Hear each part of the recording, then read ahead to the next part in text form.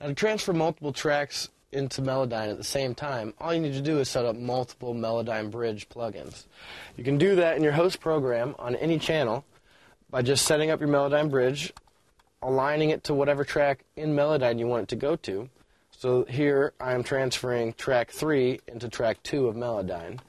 I'm also transferring track 2 into track 1 of Melodyne. So you'd hit transfer on both of these. You can do this up to as many tracks as you like. And then it's going to take your files in real time and put them into Melodyne. Now, I'm only viewing one of the tracks at a time because I'm in the arrange window or the edit window. If I go to the arrange window, it'll show me the different tracks that I have set up. It'll show how, just like in the host program, you have individual tracks that are being corresponded to individual tracks in your host program.